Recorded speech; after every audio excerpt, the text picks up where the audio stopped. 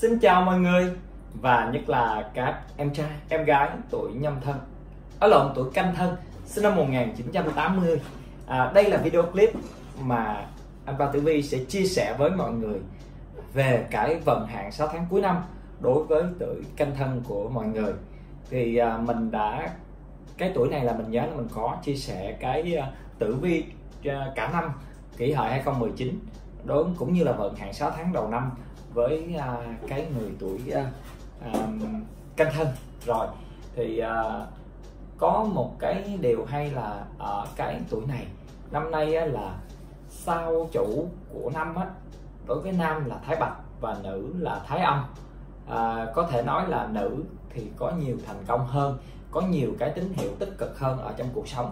Còn nam thì với sao thái bạch à, chiếu mạng thì người ta nói thái bạch thì quét sạch cửa nhà mà đặc biệt là thái bạch thuộc hành kim mà uh, nam mạng của ờ, canh thân thì lại là thuộc mộc.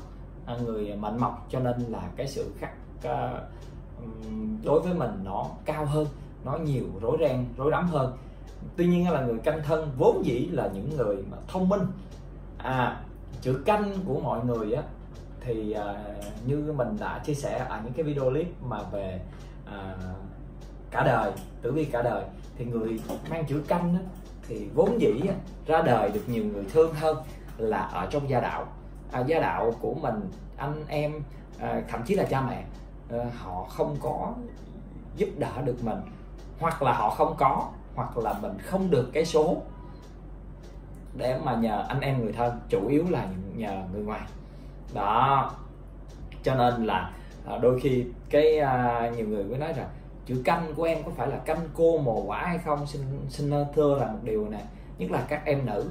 Canh thân của các em chỉ có một tháng duy nhất là cái sao ờ, quả tú nó an ở tại ờ, mệnh của mình.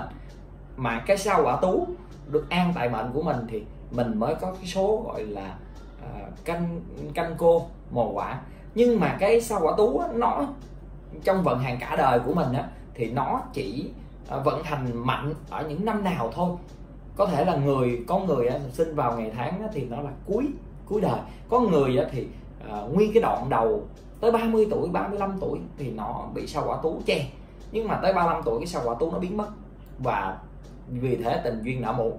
Chứ không phải là cái sao quả tú nó không thể theo cái cái cái à, uh, sao quả tú nó không thể theo mình vận trình cả đời được. Không có rất hiếm trường hợp có những cái sao đó à, còn cái việc còn lại là do người canh thân quá thông minh à, quá so đo à, chiết tính cho nên là các em thấy tính rằng là lấy chồng chi khổ cho nên để vậy cho nó vui. À, thì đó cái chuyện đó mình không biết ha. Rồi trở lại với những vấn đề chính đó là cái vận hạn 6 tháng cuối năm đối với uh, uh, mọi người. À, thì uh, mình đã làm 6 tháng đầu năm rồi tới tháng 6 thì bây giờ mình nhập tới tháng 7 tháng 7 âm lịch của năm kỷ hợi 2019 tức là tháng nhâm thân. À một tháng kim. Như vậy xét về mệnh là mệnh là kim khắc một bản mệnh bị tháng khắc.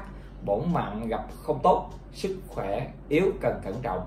Khi bổn mạng bị tháng tương khắc như thế này thì phúc tinh và tài tinh coi như là hóa không không có làm gì được không có cứu giải gì được cái uh, uh, tử vi của mình của cả năm à, đặc biệt là các em nam mới sao thái bạch thì coi chừng ha. Canh với nhâm là không xung không hợp trạng thái cân bằng tự chủ về mặt thiên can. À, tuy nhiên là canh á, xét về nạp âm ngũ hành canh là kim nhâm là thủy cho nên có thể nói là bị sinh xuất về nạp âm ngũ hành. Khi bị sinh xuất tức là bị tốn tài nhưng không lớn. À địa chi thân gặp thân tức là năm sinh tháng tuổi chắc chắn rằng là sẽ có những cái trúc trắc trục trặc đặc biệt là phần gia đạo. À như vậy thì rõ ràng đầu đầu của cái à, vận hạn 6 tháng cuối năm chúng ta gặp cái tháng tuổi của chúng ta, ha, rồi bị à, là kim khắc mộc, rồi à, thiên can nạp âm ngũ hành thì sinh xuất, coi chừng tổn tài, sức khỏe, đặc biệt là với các em thái bạch.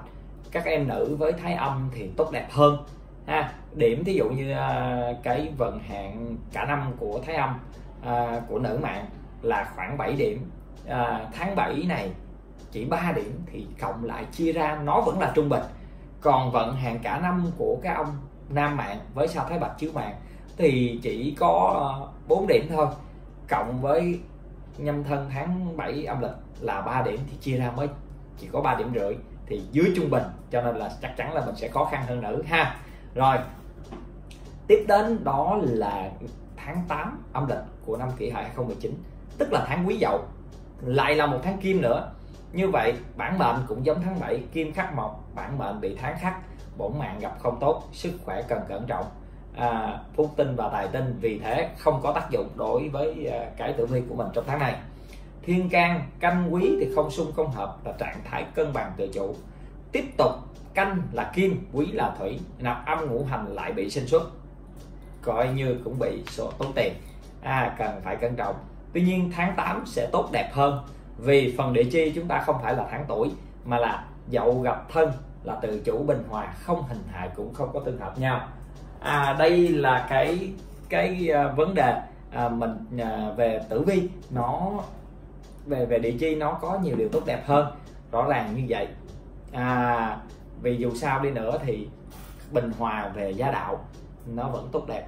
À nó đỡ hơn cái tháng 7 à, rồi đó là đến đến à, tháng 9 âm lịch của năm kỷ hợi 2019 tức là tháng giáp tuất mà tháng giáp tuất là hỏa. Như vậy mệnh là mộc sinh hỏa. Bổn mạng bị sinh xuất. Sức khỏe yếu cẩn trọng bổn mạng. À khi mà bổn mạng bị sinh xuất tức là phúc tinh và tài tinh vì thế nó cũng yếu đi một chút. À nhưng mà nó không hoàn toàn mất đi tác dụng cho nên nó vẫn có thể trợ giúp mình được một chí gì đó. Địa chi? Á quanh thiên can là chữ canh của canh thân khắc chữ giáp. Và thiên can khắc tháng. Công việc à, cẩn thận nhiều khó khăn. À đó. Thiên can khắc tháng thì à, ảnh hưởng nhiều đến phần công việc. Địa chi? Tức thân thì tự chủ bình hòa không hình hại cũng không có tương hợp nhau. Như vậy địa chi tiếp tục là một điều về gia đạo không có vấn đề không có gì nào quá lớn đối với người tuổi canh thân có thể nói như vậy. À tiếp tục là tháng 10 tháng ất hợi của năm kỷ hợi 2019 à tháng ất hợi của năm kỷ hợi là cái tháng nó đã có sự xung khắc với năm rồi thì nó cũng sẽ tạo ra nhiều cái điều không tốt đẹp. Thử xem coi đối với tuổi của mình thì nó ra sao. À, tháng ất hợi tiếp tục là một tháng hỏa cho nên mệnh cũng giống tháng 9 mộc sinh hỏa bổn mệnh bị sinh xuất sức khỏe yếu cẩn trọng bổn mạng. Đó như vậy là ok. À, cũng giống tháng ấy ha phải cẩn thận cái bổn mạng của mình. Thiên can chữ ất và chữ canh là thuộc ngũ hợp. À công việc dễ sẽ tốt đẹp dễ sinh tài lộc. Đó là một tín hiệu tích cực. Vui vẻ. Có thể đối với những uh, tuổi khác cái tháng ất hợi của năm kỷ hợi có xấu với mình uh, về công việc nhưng mà với canh thân thì không. Rõ ràng là tốt đẹp về công việc địa chi? Hợi thân là thuộc nhóm tự hại. Ý nghĩa của uh, tương hại á, là sự cản trở nhau trong cuộc sống. À, một số sách ở uh, khu vực miền Bắc viết á, thì đây là nhị hại. Với tương hại thì nó cũng giống nhau chứ không có gì khác nhau cả. À cho nên là đúng không dần thân tỵ hợi thân hợi. À cho nên nó nằm ở trong tứ hành xung và nó có cái sự xung khắc với nhau. Cho nên là gia đạo chắc chắn sẽ khó yên và có một chút buồn phiền về gia đạo. À, đặc biệt với thái bạch chiếu mạng thì đây là tháng có nhiều cái xung khắc của năm sẽ đem đến cái cái việc mà nó không tốt đẹp cho các em trai nhân thân với sao ngọc thái bạch ha. Rồi tiếp tục là tháng 11 tháng bính tý một tháng thủy trong cái năm kỷ hợi 2019 à mà nếu mà xét về mạng là thủy sinh mộc bản mệnh tương sinh tốt cho sức khỏe bổn mạng. Và đặc biệt là nó tương trợ cho phúc tinh và tài tinh được phát huy tác dụng tối đa. À, tuy nhiên tháng này không tốt đẹp như là cái được cái bổn mạng à, tương sinh nếu như hay đâu. Tại vì sao? Tại vì bính của bính tý khắc chữ canh à tháng khắc thiên can công việc gặp nhiều điều bất lợi không vui cẩn thận về mặt giấy tờ nếu không muốn báo tụng địch à, là gặp chuyện kiện thơ ha. Cho nên là nhớ cẩn thận. Địa chi? Tý gặp thân là thuộc nhóm thân tý thìn tam hợp. À là dấu hiệu của nhiều may mắn không chỉ cho gia đạo mà còn cho các mối quan hệ trong công việc. Hy vọng rằng với cái tam hợp của địa chi thân tý thìn này sẽ phần nào khắc chế à, cái chữ bính của tháng chữ canh của mình. À, rõ ràng đã là như vậy thì là thực sự không tốt đẹp đúng không? À, rồi là mệnh của mình thì được tương sinh. À, địa chi thì à, à, được cái điều tốt đẹp như vậy thì rõ ràng là có cái sức hút có tiền tài khống chế phần nào cái sự khó khăn do cái thiên can đưa lại cho công việc ha. Rồi tiếp đến đó là tháng uh,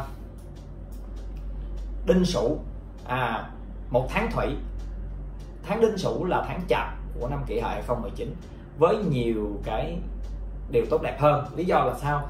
Vì nó là một tháng thủy thì rõ ràng là thủy sinh mộc à bổn mạng tiếp tục được tương sinh, tốt cho sức khỏe, tốt cho tài vận và các phúc tinh và tài tinh vì thế hưởng lợi.